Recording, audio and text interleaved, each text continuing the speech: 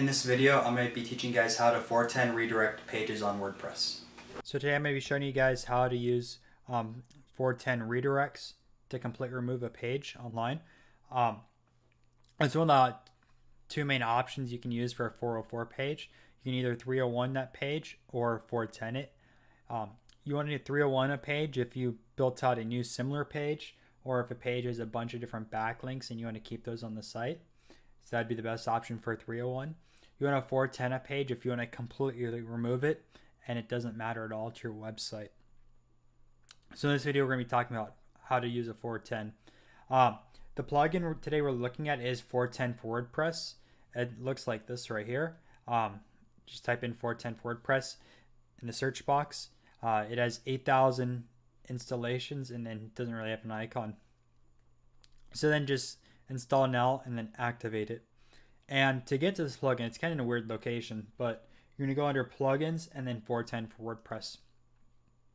Now, under here, it'll show you um, the URLs that will get a 410 response, and it's under obsolete URLs, right? So uh, this site has already done one 410. Um, down below, it'll say recent 404 errors. So these are all the 404 errors on the site. Um, like I said, you can either 301 or 404 them. And then you have the option to manually add URLs to here. Um, so what I'm to do is I did a um, test page in a recent video. It's like a contact thank you page. Um, where is it at? Unless I didn't say, unless I deleted already. Oh, here he is. Contact thank you test. So we're going to just show you how real, real quick how to 410 this page.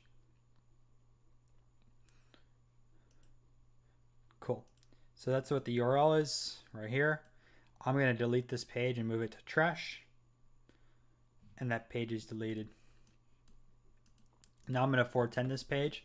So just grab your URL, go under here where it says manually add URLs, paste in that URL, and then add entries to 410 list.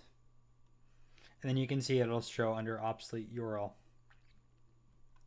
So that's it for this video, guys. If you found some value, make sure to leave a like and subscribe to the channel. Um, let me know down in the comment section below what you want to see me cover in the future. And then also I have a Facebook and Discord group, so make sure to join those. Until next time.